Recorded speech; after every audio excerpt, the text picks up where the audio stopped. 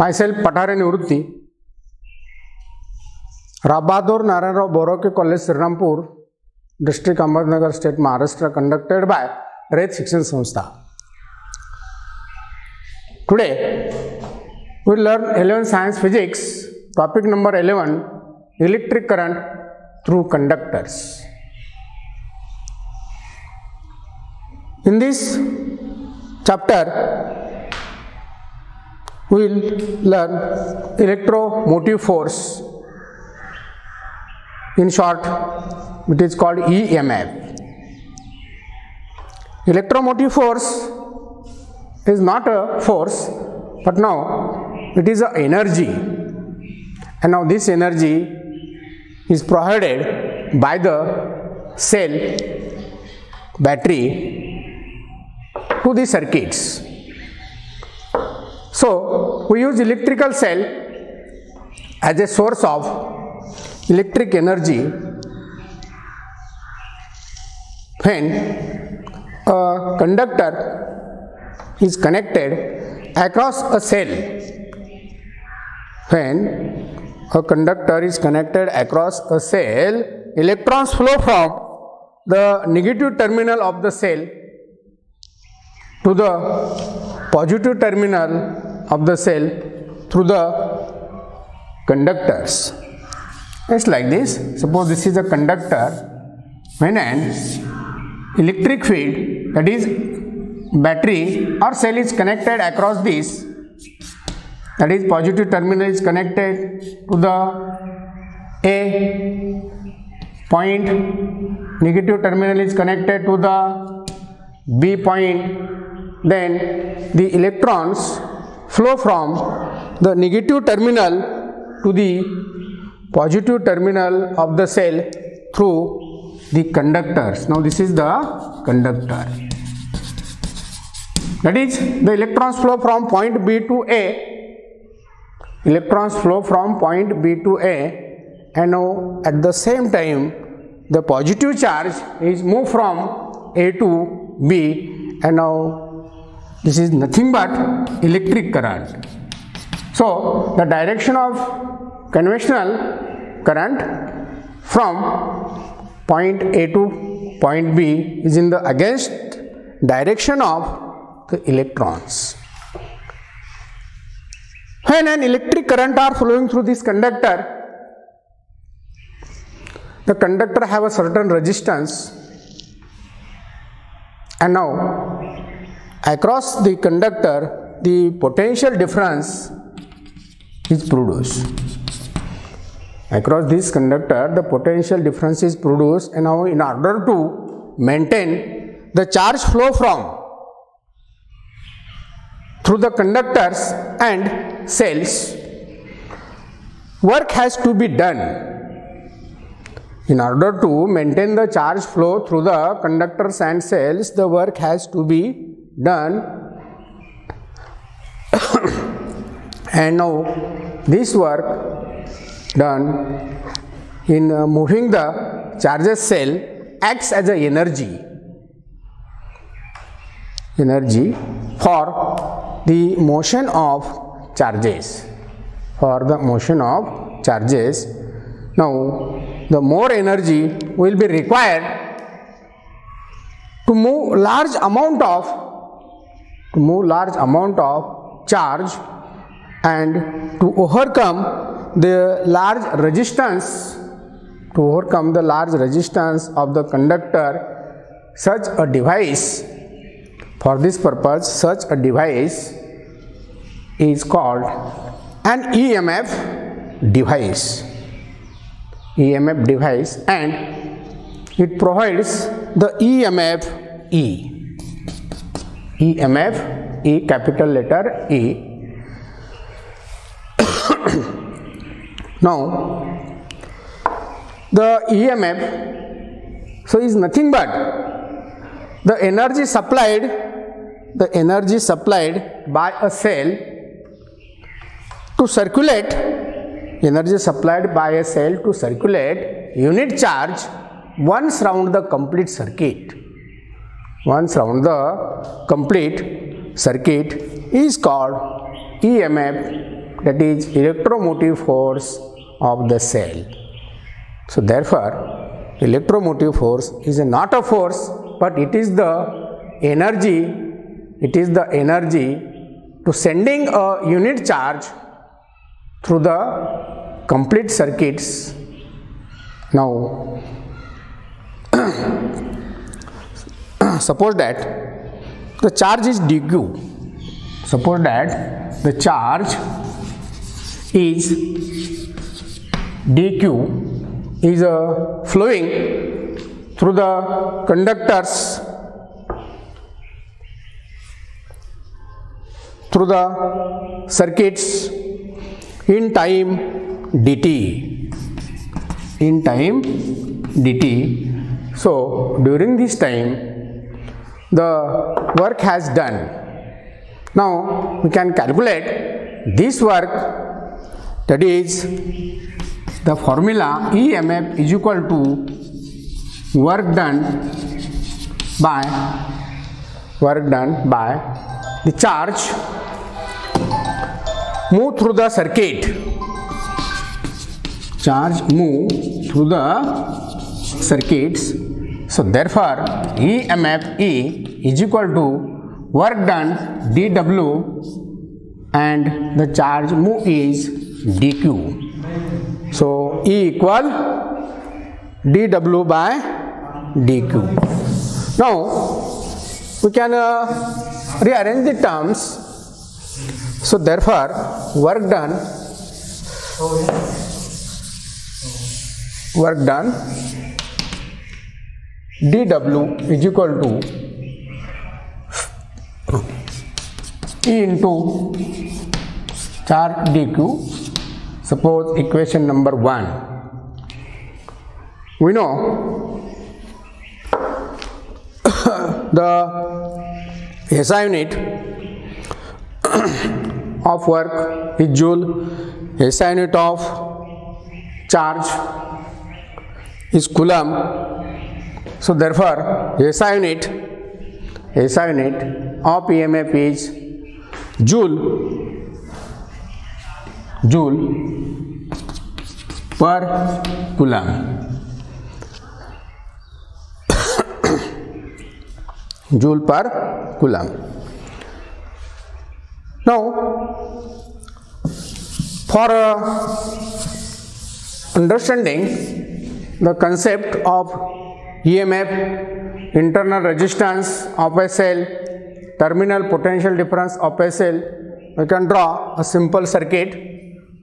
Suppose this is the conductor having a certain resistance are called external resistance. Across it a cell or battery is connected.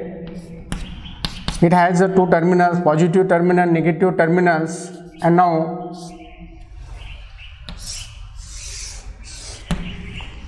small r is its internal resistance. That is small r is internal resistance of a cell. Across it the potential difference is v suffix r. So Vr is the potential difference across internal resistance. When an electric current are flowing through the circuits then the potential difference V is produced across the external resistance. Now this is denote the cell. Now this is the cell. Now for understanding the concept of internal resistance, every source of electricity has its own resistance depending upon its composition. Every source of electricity has its own resistance depending upon its compositions are called the internal resistance. Now, the internal resistance is denoted by letter small r in the circuit and across it the potential difference is V suffix r. also V stands for terminal potential difference. Terminal potential difference.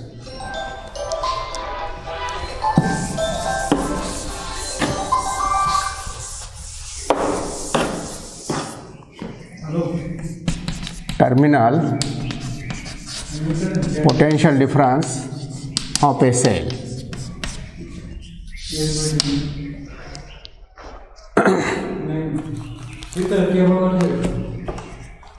when an cell is connected across the external resistance R, then the potential difference V is produced across this external resistance. And now the potential, terminal potential difference means the energy spent by a source of EMF in circulating a unit charge, circulating a unit charge through the external resistance. Through this external resistance, the energy spent to sending a unit charge means terminal PD of a cell. So, you can define terminal PD the energy spent by a source of cell in a circulating unit charge circulating unit charge through the external resistance and now this is called terminal potential difference of a cell. Now in the circuit consider E is the EMF of a cell and its own resistance is small r across it the external resistance R is connected let V be the terminal potential difference across the external resistance. V suffix R is the potential difference across the internal resistance. Then according to the principle of conservation of energy. So by conservation.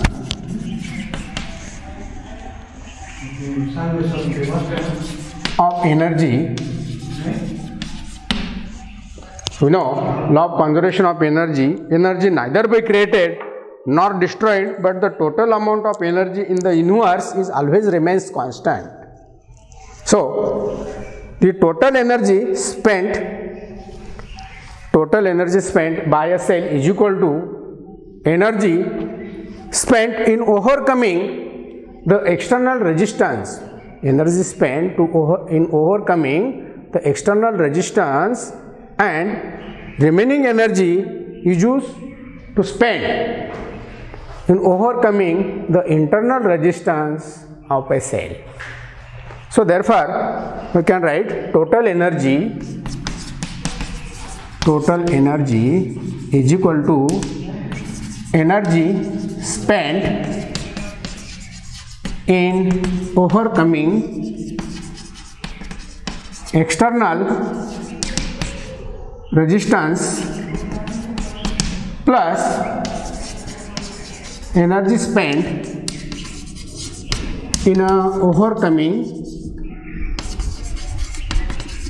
internal resistance overcoming internal resistance so therefore, by using the formula total energy work done, total energy or uh, the work done dW is equal to E into dQ. Now this is the total energy that is E dQ. We know energy and work is equal. So therefore we can write total energy from equation 1 E into dq. Okay.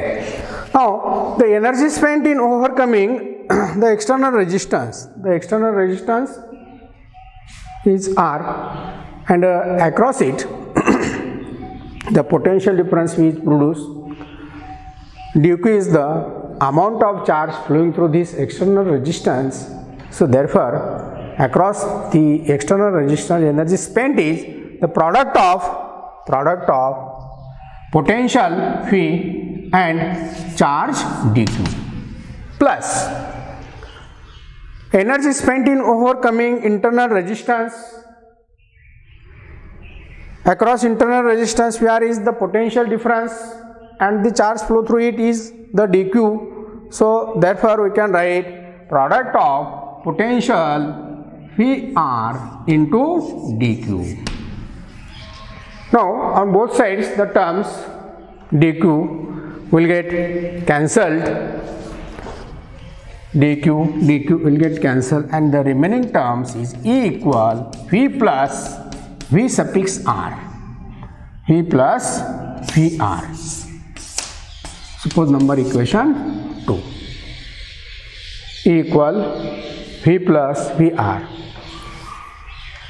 By Ohm's law, we know Ohm's law R is equal to V upon I. Mathematical terms R is equal to V upon I. So by Ohm's law, you can write V equal IR or R equal V upon I. So therefore we can write by Ohm's law V is equal to product of current and resistance and also also potential difference across internal resistance VR is equal to product of current product of current and its resistance is small r IR. Substitute these values in a equation 2 in equation 2 so therefore E equal V is equal to I into R plus VR is equal to I into R. Here take common I, so in bracket R plus R. So therefore E equal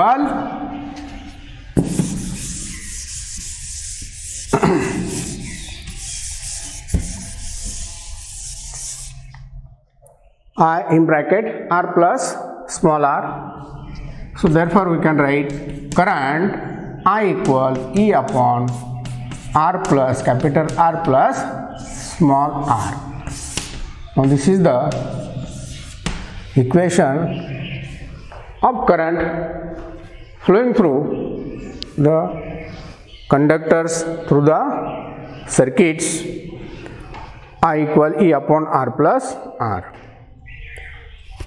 Now the value of this external resistance is kept minimum or 0 that is r equal 0 r is equal to 0 so therefore the maximum current maximum current flowing through the external resistance so we can write this i maximum is equal to e upon r small r. I maximum is equal to e upon r.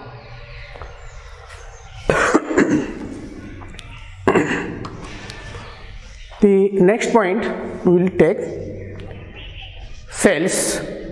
Now these cells are connected in either in series or in parallel and what will be their equivalent values of the EMFs or voltages. So next point is cells in series.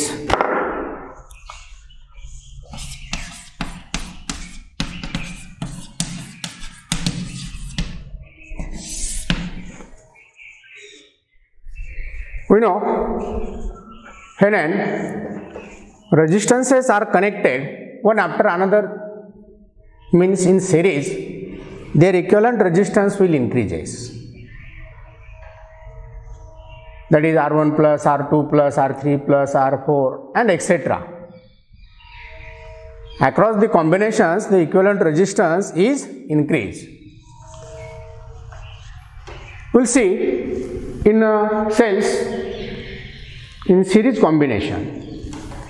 Suppose two cells is connected in series. two cells are connected in series between two points and B that is cell E1 and cell E2 are connected in this way that is the negative terminal negative terminal of cell E1 is connected to the positive terminal of cell E2 and negative terminal is also connected to the another cell suppose cell E3 so in this way they are connected one after another in series. Suppose the value of this cell is 1.5 volt this is also 1.5 volt. So what will be their combinations that is across its across the series combination its equivalent values now the voltages across the A and B terminals is summation of all these cells that is 1.5 plus 1.5 that is 3 volt. 1.5 plus 1.5 is equal to 3 volt across the series combinations thus the equivalent of number of cells that is n cells are connected in series. The combination is the algebraic sum of individuals of the equivalent uh, algebraic sum of individuals EMFs also the equivalent internal resistance of cells in a series combination is the sum of their individual internal resistance. That is V is equal to we can write sum of I sum of algebraic sum of I E suffix I.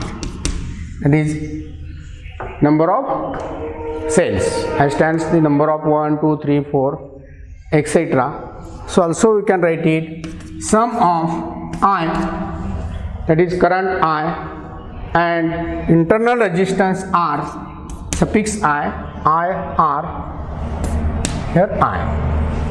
That is sum of I R I I is equal to also you can write phi is equal to I out of summation then internal resistance I that is phi equal I sum of R suffix I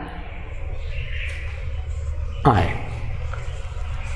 Now, the advantages of cells are connected in series. There are some advantages when the cells are arranged in series. In a series, produce large resultant voltage. So, for obtaining the large resulting voltage, the cells are arranged in series combinations. Also another advantage is suppose one of the cells in the series combination is damaged